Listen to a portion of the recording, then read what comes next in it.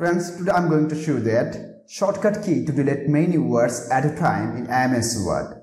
Friends, if I want to delete something or some words from the document of MS Word, I have to press backspace from the keyboard and one letter has been deleted, right? See my friends. It is deleting only one letter, right? But if I want to delete the whole word, how can delete?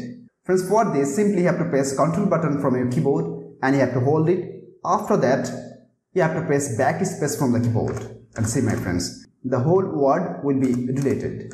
See my friends. So like this if you want you can delete the whole word from the keyboard by using shortcut key right? Friends if you want to delete like whole line how you can delete.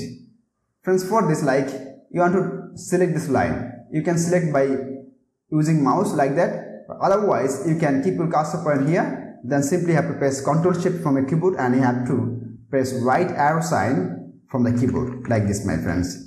And your line will be selected. And simply have to press delete button from your keyboard right? But if you want to select the whole para how you can select my friends? Simply have to keep your cursor point here on the top of the para. After that you have to press ctrl shift from your keyboard and you have to press down arrow sign from the keyboard my friends. And see the whole para will be selected and after that you have to press delete button from your keyboard. See my friends so like this if you want, you can delete many words and many lines at a time in MS Word by using shortcut key. Friends, to use shortcut key to delete many words at a time in MS Word, if you face any problem, feel free to ask me in comment box.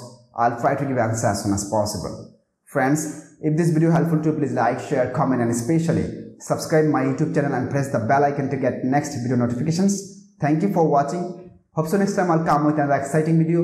Till then, take care. Bye-bye.